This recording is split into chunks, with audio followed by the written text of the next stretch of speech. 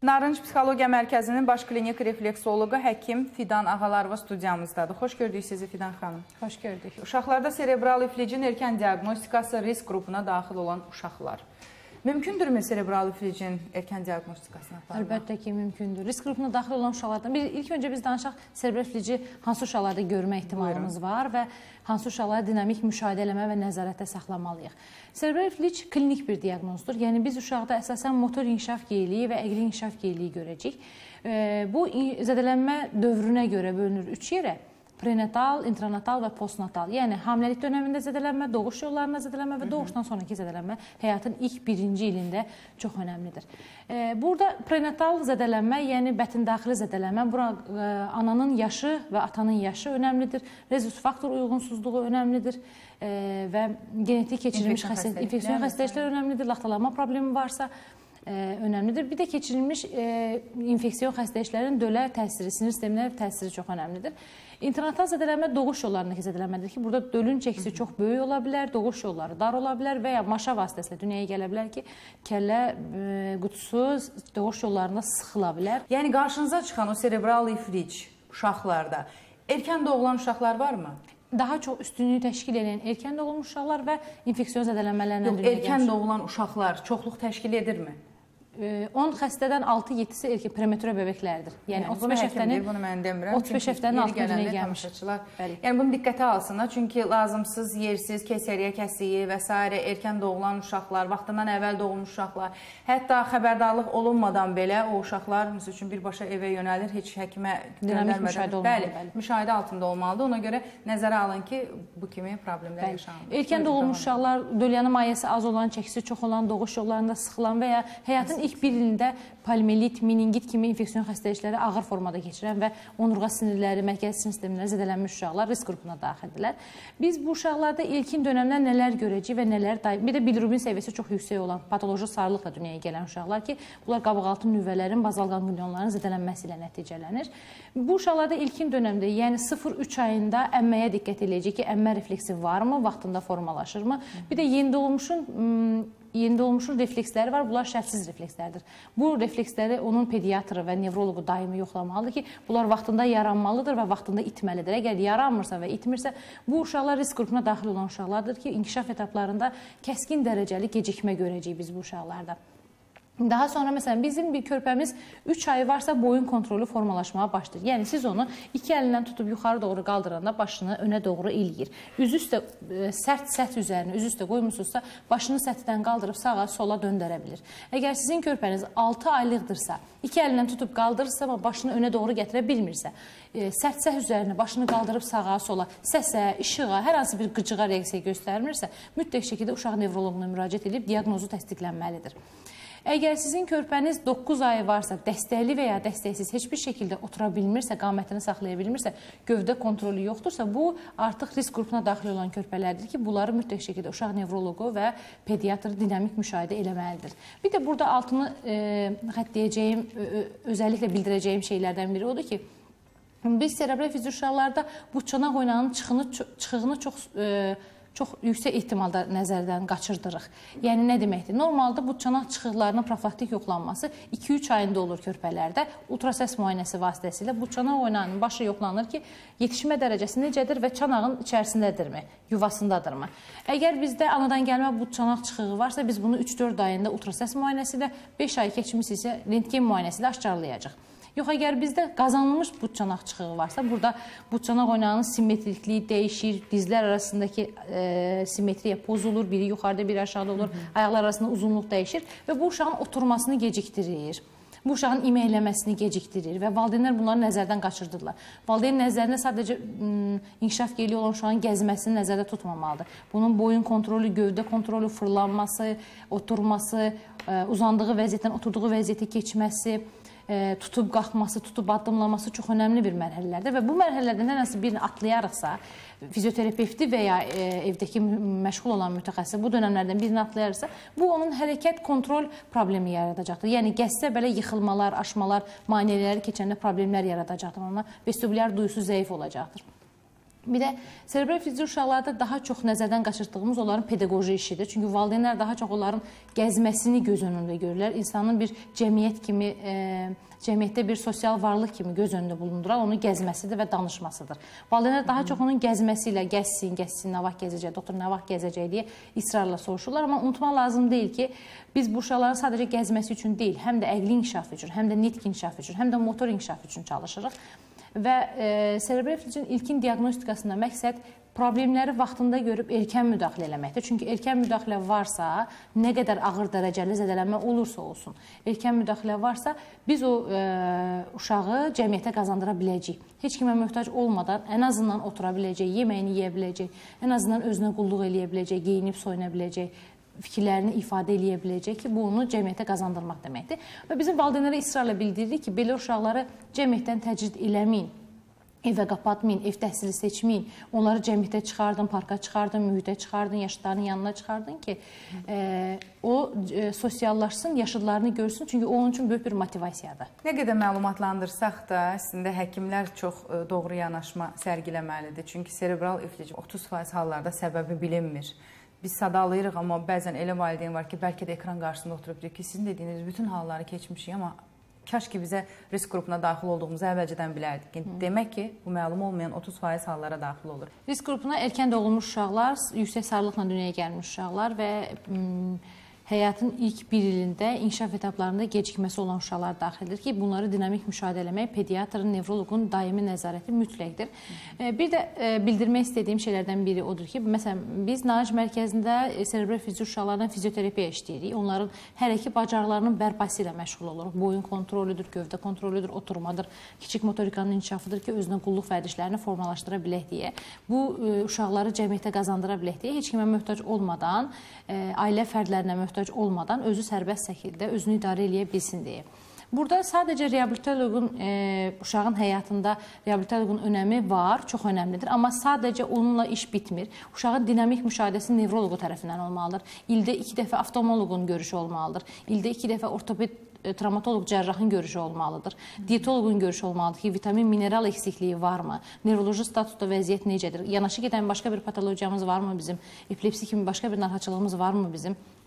Və ya e, bizim travmatoloq cərrahımız müayinə eləməlidir ki, vətərlərin, oynaqların, sümüklərin vəziyyəti necədir? Uzun müddətli oturma bacarığı olmayan 3 yaşında bir körpənin buçanaq oynağı nə vəziyyətdədir? Ayaqları, vətərləri, bağları nə vəziyyətdədir və buna erkən mərhələdə müdaxilə etməzsək hansı fəsadlar olacaqdır? Çünki biz bilirik ki, bu uşaqlara erkən dövrdə reabilitasiyaya başlamayanda hipertonus olan uşaqlarda, spastikası çox olan uşaqlarda kontrakturalar formalaşmağa başlayır. Yəni kontrakturalar əzələ toxumasının əriyərək, atrofiyaya uğrayaraq birləşdirici toxuma ilə əvəz olunması, sərtləşməsi, daşlaşması və artıq biz onları hərəkət eləyə bilmirik. Hərəkət məhdudiyyəti olur həmin oynaqlarda. Özəlliklə aşağı ətraflarda biz bu hərəkət məhdudiyyətini daha çox görürük ki, biz valideyni bildiririk ki, 4 yaşına qədər Əgər bir uşağın baş kontrolu yoxdursa, 4 yaşına qədər oturma bacarıqları, sərbəst oturma bacarıqları yoxdursa, bu aşağı ətraflarda ağır dərəcəli spastika cərrahi müdaxiləyə şərtdir. Mütləq birinci travmatoloq cərrah görməlidir ki, çanağın, bağların, əzələlərin vəziyyəti necədir? Bizim müdaxilə etməyimiz üçün onlar bizə icazə verməlidirlər ki, çıxıq yoxdur, qırıq yoxdur və ya bağlarda zədələnmə yoxdur ki, qopartma ola bilər. Kontrakturalarda məsələn ehtiyatla işləməliyik ki, qopma ola bilər, bağlar qopa bilər. Çünki uzun müddətli bir pozisiyada qalan ə, e, oynağı biz daimi hərəkət elətdiririk və biz burada asta-asta ehtiyatla hərəkət elətdirməliyik ki, bağda qopma olmasın, vətərlərdə cırılma olmasın deyə ki, belə bir fəsadlar da ola bilər. Ümumiyyətlə serebral iflicin ilkin diaqnostikası e, biz diaqnostika aparanda bətin daxili inkişafı, doğuşun necə olmasını, həyatın bugünkü dövrünə qədər necə inkişaf keçdiyini, əmmənin nə vaxt formalaşdığını, diş çıxarmanın nə vaxt olmasını, iməkləmənin, oturmanın ki, hansıları varsa ora qədər nələri bacarmışıq, onları soruşuruq. Qohum evliliyi olub olmadığını soruşuruq. Çünki biz bilirik ki, qohum evliliklərində inkişaf qüsurlarının üzə çıxma ehtimalı çox yüksəkdir özəlliklə genetik qüsurların üzə çıxma ehtimalı çox yüksəkdir. Ana ata yaşlı bir e, insandırsa, yəni burada 38-40 yaşın üzərindədirsə, inkişaf qüsurlu uşaqların dünyaya gəlmə ehtimalı yüksəlir. Laxtalanma problemi olan bir mamadırsa, inkişaf qüsuru olma ehtimalı yüksəlir. Bunların hamısı nəzarətdə saxlanılır. Biz e, serebral fizi uşaqlarda kiçik motorikanın, böyük motorikanın, nitqin və anlamanın, qavramanın inkişafı ilə işləyirik narınc mərkəzi olaraq ki, o uşaqları cəmiyyətə qazandıra bilək. Məcbur deyil yerisin, tamamı? Yeriyə biləcək səviyyədədirsə yeriməyinə qədər gətirərik. Amma e, çimməyi, tualet eğitiminin olmağı, pampersdən çıxmağı, yeməyini özü yeməyi, özünə su, çay süzməyi, bu kimi bacarıqlar da öyrənməyi onun üçün çox vacibdir. Bir də serebral fizi uşaqların formalarına uyğun olaraq bölək ki, spastik tiplər vardır, diskinetik tiplər vardır, bir də atonik, ataksik formaları vardır.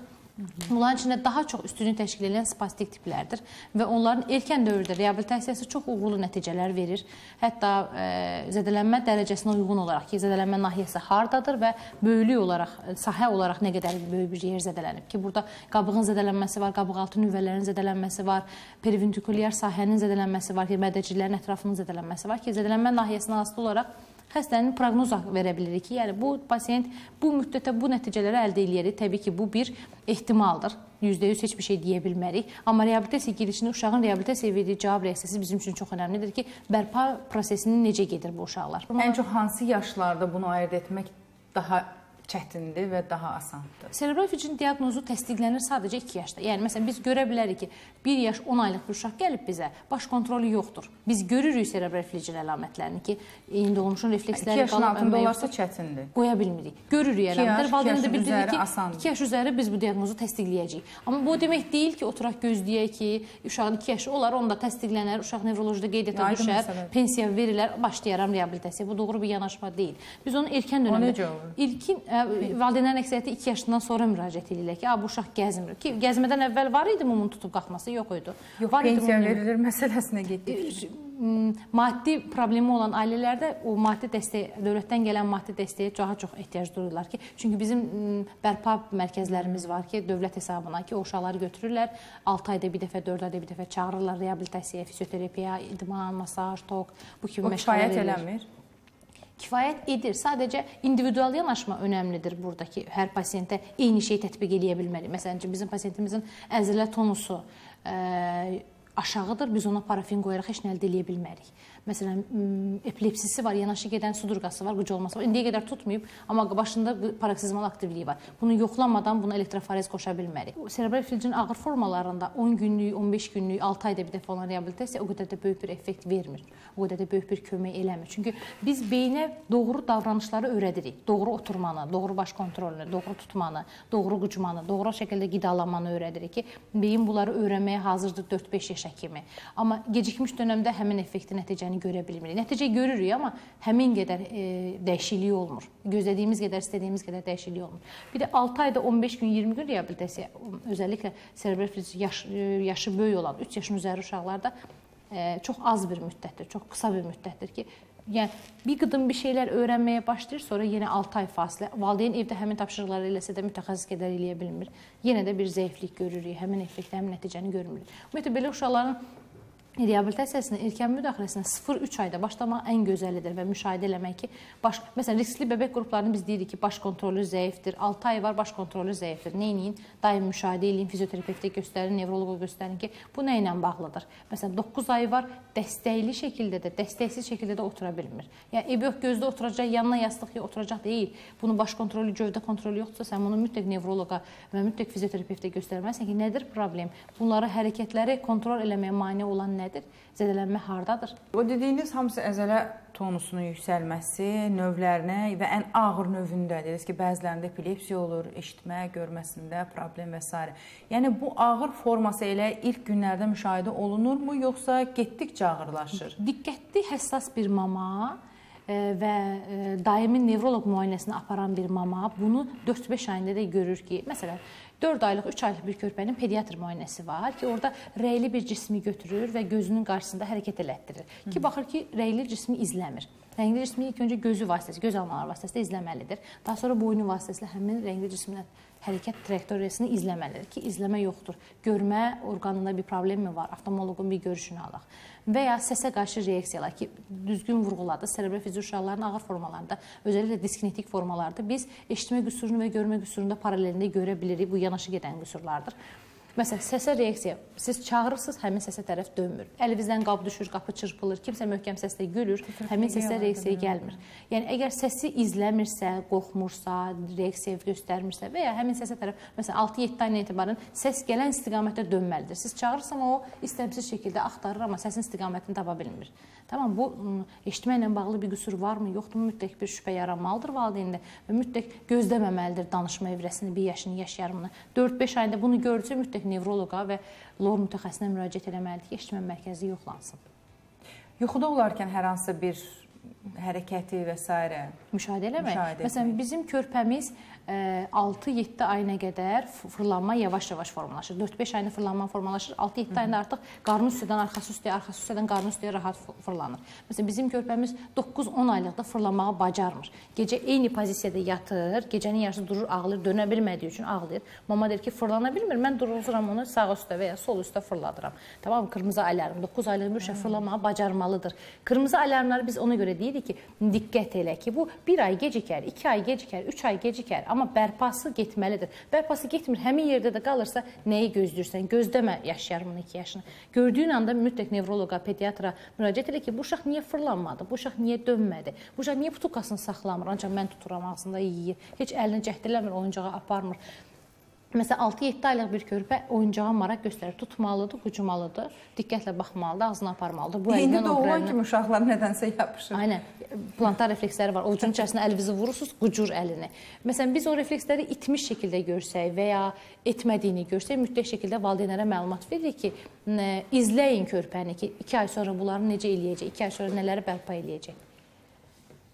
Yəni bu ə, e, spastik formalar ki dediniz, bu neçə faiz hallarda rast gəlinir? Bu serebral flüzlərin ümumiyyətlə 60-70 faizi e, spastik formalı. E, hə, 30 faizi bilinmirsə 70 faizi də yerdə qalan spastik. Demək ki, spastik serebral flüzlərdə aldığımız effekt də daha güclüdür, daha yaxşıdır. Erkən dövrlərdə müdaxilə olunursa, o uşaqların böyük əksəriyyəti, yəni özünü idarə edə biləcək, tutaraq gəzəcək, sərbəst gəzəcək, təhsil ala biləcək formada. Məsələn, bunların içərisində tetraparezlər vardır, bir də paraparezlər vardır bir də hemiparizlər vardır. Bunların içərisində diplegiyalı uşaqlar, yəni aşağı ətrafların e, sinir zədələnməsindən dünyaya gələn uşaqların əqli inkişafında və nitq inkişafında, kiçik motorikasında bir problemləri olmur. Sadəcə Hı -hı. böyük motorikasında, yəni hərəkətlə bağlı, gəzməklə bağlı problemlər olur. Məsələn, hemipariz uşaqların əqli problemləri olmur. Onların sadəcə bir tərəflərinin əlinin və ayağının hərəkət məhdudiyyəti olur. Ki onlar təhsildən qalası, ev təhsilinə məhkum olası uşaqlar deyillər. Onlar sağlam uşaqların bir təhsil alası, bir universitetə gedəsi və cəmiyyətdə yer tutası uşaqlardılar. Dil çıxardan uşaqlar var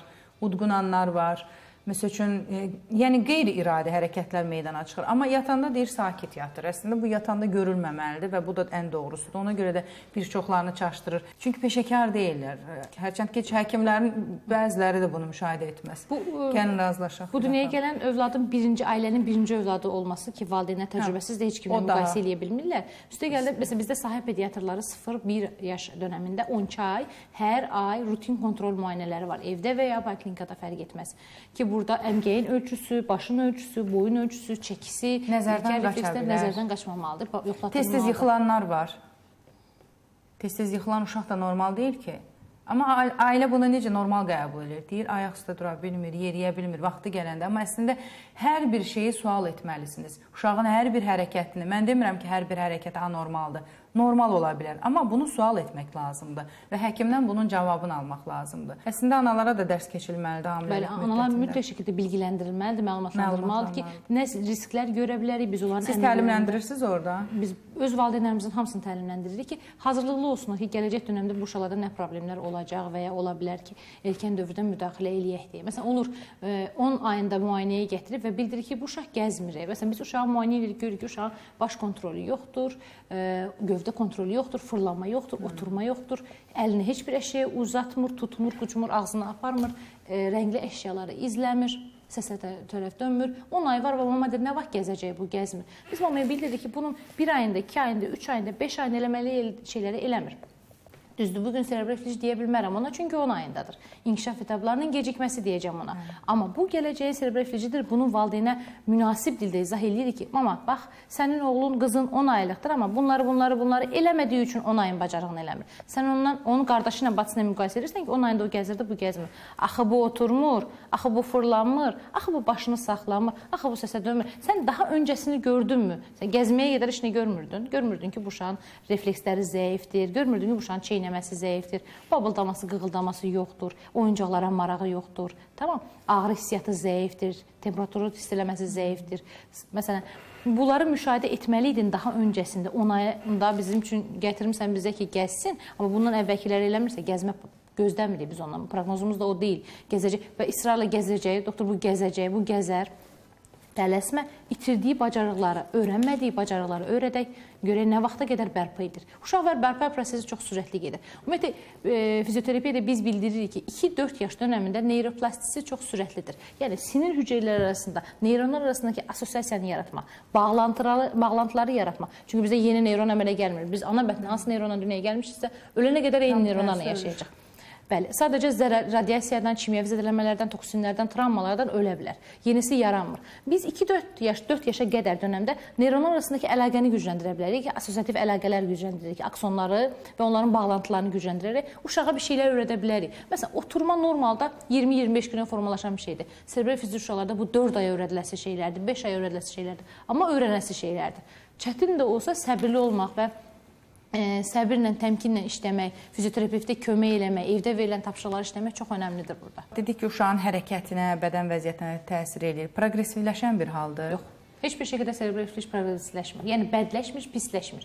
Nə varsa odur. Məsələn, dünyaya gəlib serebral iflicli bir uşaq MRT eləyirik, başında Çünki biraz öncə biz proqnoz verdik, ona görə yəni bunu qarışdırmasınlar. İnkişaf etaplarında irəliləyiş olmaya bilər. Məsəl üçün, bizim övladımız gəlib oturur, Amma iməkləmir və gəzmir, deyilmi? Amma məsələn 2 il sonra gəlsə oturma itəsi deyil, yenə oturaq vəziyyətdədir. Əgər heç bir reabilitasiya eləmiriksə, o bacardığını itirməz, pisləşməz ki, bacarırsa orada da qalacaq, irəliləməyəcək və ya çox cüzi irəliləyəcək ki, biz həmin ildə o irəliləşir, irəliləş olaraq görmürük. Amma oturma var, 2 il heç kim məşğul olmayıb, oturmanı itirəcək elə bir şey yoxdur. Bədləşmə yoxdur, proqressivləşmə yoxdur. Nə varsa orada da qalır. Çünki zədələnmə nahiyəsi sabitdir, oradadır. Orada bir böyümə, kiçilmə yoxdur. Ona görə məsələn əzələ distrofiyaları olan uşaqlar, miopatiyalar olan uşaqlar var ki, onlar itirə-itirə gedirlər və ya neuropatiyalı uşaqlar var ki, onlar itirə-itirə gedirlər. Bu gün gəzir də amma baxışır aslamağa bəzi prosesləri itirir. Amma serebral iflic klinik bir diaqnozdur və orada heç bir itirmədən söhbət gedə bilər. Bacardığı şeyləri qazanır və yadda saxlayır, amma irəlisi sadəcə reabilitasiya ilə mümkündür. Bir də ah, özəlliklə belirtmək istəyirəm ki, serebral iflicli uşaqlarda dünyanın hər yerinə gedirsinizsə gedin, dərman müalicəsi onlara sadəcə 20-30% kömək edir. Onlara sadəcə böyük bir dəstəyi kömək onların fizioterapevtləri edir ki, onlara hərəkət bacarıqlarını öyrədirlər. Doğru baş saxlamağı, doğru oturmağı, doğru fırlanmağı, doğru iməkləməyi ki, bir şeylər qazandıra bilirlər. Burada bizim üçün ailə çox önəmlidir ki, ailə bizim verdiyimiz tapşırıqları eləməlidir. Məsələn, bizim bir oğlumuz var, oturması yoxdur, baş kontrolu yoxdur. Ana onu xadonoko qoyur. Biz ana israrla bildiririk ki, anam bunu xadonoko qoyma. Təkərli arabaya qoyub gəzdirmə. Çünki bunun baş kontrolu yoxdur, oturma yoxdur, mənasız bir elədiyin bir eyləmdir. Aşağı ətrafların spastikasını artırırsan, bizə kömək eləmədiyin kimi bizə ziyan da verirsən. Məsələn, valideynləri bilgiləndirmək, evdə nələr eləyirlər, nələr eləmirlər. Çünki 1 saat bizim yanımızdadır, 23 saat mama ilə bir yerdə. Evdə mama nələr eləyir, nələr eləmir, bunlar bizim üçün çox önəmlidir. Serebral iflic ümumiyyətlə e, müalicəyə tabe olmur. Çox çətinliklə baxır onun növlərinə, onu yaradan səbəblərə, doğru yanaşma, həkim mütəxəssis seçimi. Yəni bütün bunları ana düşünməlidir götür qoy etməlidir. Çünki Danış xanımla dəfələrlə biz burada danışanda deyirik ki, uşaqda əqli geyriliyin fərqinə varıb bizə gətirənlər olub ki, nəticə etibarilə demişik ki, sənin uşağında serebral iflicdir, buna bağlı bir problemdir.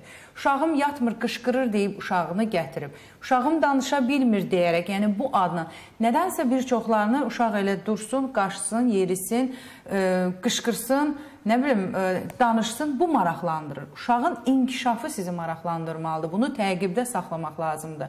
Narınc Psixologiya Mərkəzi artıq son günlərdə, son aylarda mən deyərdim ki, çox gözəl uğurlara imza atır. İllərlə serebral iflic, illərlə əlil adı ilə Hətta ə, e, əlil arabasında olan uşaqlar, yeriyə bilməyən, qucaqda 10 il, 15 il gəzən uşaqları Narınc Psixologiya Mərkəzində bu gün yeridirlər.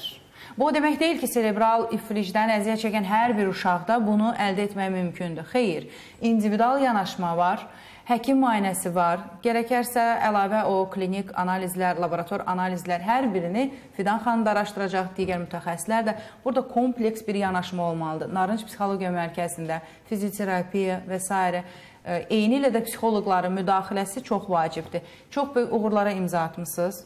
Mən təşəkkür edirəm gəldiyinizə görə. İşlərinizdə də uğurlar arzu edirəm. Bu qədər həssas yanaşdığınıza görə də təşəkkürümü bildirirəm. Narınc xanımı da buradan salamlayıram. İnşallah növbəti verilişlərimizdə görüşəcəyik. Müraciətlərinizi Narınc Psixologiya Mərkəzinin e, baş refleksoloqu həkim Fidan Ağalarova edə bilərsiniz. Narınc Psixologiya Mərkəzində fəaliyyətini davam etdirir. Təşəkkür edirəm bir daha gəldiyinizə görə.